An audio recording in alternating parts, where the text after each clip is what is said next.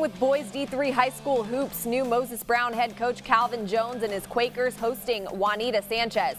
Home team on the attack early, da uh, Darius Ajakaye. The pass to Peter Bonanno. He drains the three. Cavaliers answer Anthony Perez to Calvin Smith, the sweet fake and take. Then Amet Rodriguez uses the screen to hit the three. Juanita Sanchez tops Moses Brown 60 to 58.